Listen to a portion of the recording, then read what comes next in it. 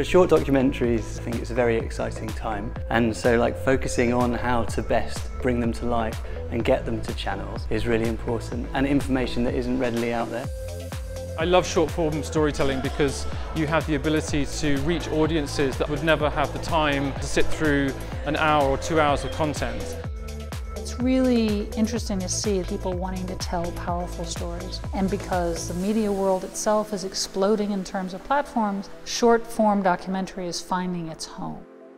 First day when they arrive, they pitch the first time and we work with them all over the week and you see how their ideas are getting more focused, more concrete.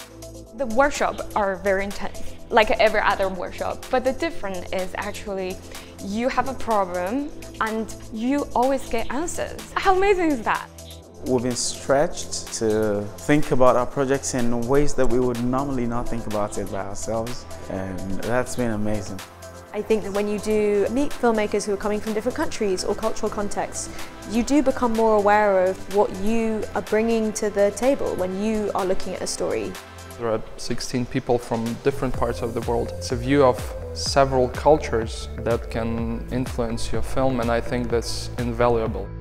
I think it's fantastic to be doing this in Kiev. Ukraine has been through a really kind of interesting recent history and it's really become this kind of amazing hub for storytelling. I think it's really important what One World Media are doing here by bringing together young filmmakers and bringing them with commissioners from a whole mixture of different platforms. I've been absolutely blown away by all the incredible ideas, by the passion, by the enthusiasm, by the level of tension that's been put into each of these projects.